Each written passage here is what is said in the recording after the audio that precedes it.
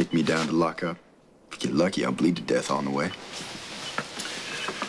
I prescribed the sedative, and I saw him take it. The dose was sufficient to keep him asleep for eight hours. Does that answer your question?